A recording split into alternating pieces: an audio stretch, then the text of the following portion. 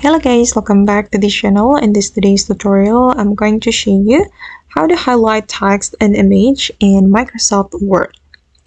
Okay, let's get into it guys. I have opened my document in Microsoft Word and for example, I'm going to highlight this text on this image.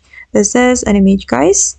And first of all, we can add shape to this image. You can go to the insert and select shapes and you can choose this rectangle shape.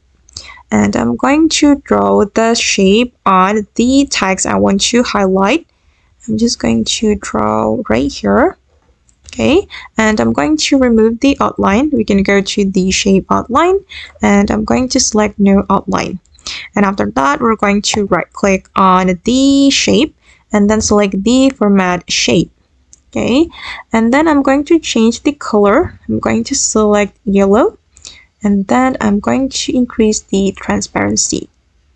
I'm just going to select um, around 40 just like so. And this is the result. As you can see that the text has been highlighted Alright guys, and that's all the way to highlight text in image in Microsoft Word. I hope this video will be useful for you. Thank you so much for watching and see you in the next video.